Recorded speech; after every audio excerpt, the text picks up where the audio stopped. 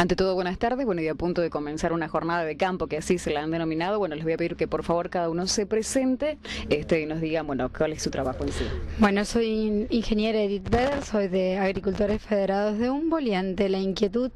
de los productores de aquí de la zona, estuvimos llegándonos hasta la localidad de San Jerónimo como para estar viendo el tema suelo, el, el tema compactación en estos suelos y para poder aplicar en ellos herramientas correspondientes y a determinadas profundidades también adecuado a una condición de manejo de acuerdo a lo que el suelo nos esté permitiendo. Y a su vez, agregando eh, la gran incógnita de lo que es esta campaña, que es el tema de humedad en el perfil de suelo, a través del laboratorio eh, de San Justo, un laboratorio de la Quinta, que nos está permitiendo llegar a todos los productores de la zona con este manejo. Y obviamente trabajamos en conjunto con la gente del INTA Rafaela, que es quienes siempre nos están ayudando y aconsejando y enseñando con lo que es el tema de suelo. ¿no? Muy bien, voy a pedir que se presenten. Sí, bueno, mi nombre es Rubén Tosolini, yo soy geólogo integro el grupo Recursos Naturales de la Experimental de Rafaela.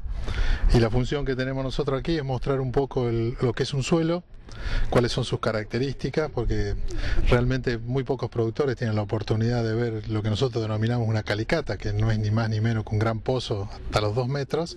en donde nosotros podemos explayar qué es lo que estamos viendo del suelo en su conjunto y cuáles son las pros y las contras que tiene cada uno de los horizontes que podemos identificar a campo, para que después posteriormente eh, los demás disertantes puedan seguir apoyándose en esa información eh, los temas que hacen más que todo a manejo de suelo.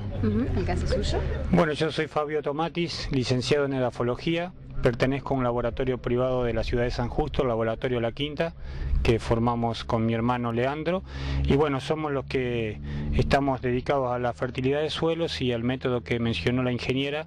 de evaluación de la cantidad de milímetros disponibles en el perfil del suelo, apoyándonos en, los recursos que brinda esta la gente del INTA Rafaela. Este, nosotros nos dedicamos a hacer lote por lote evaluaciones, como dije, de fertilidad y humedad de suelos. Y también hoy vamos a demostrar cómo evaluamos la calidad física de un suelo.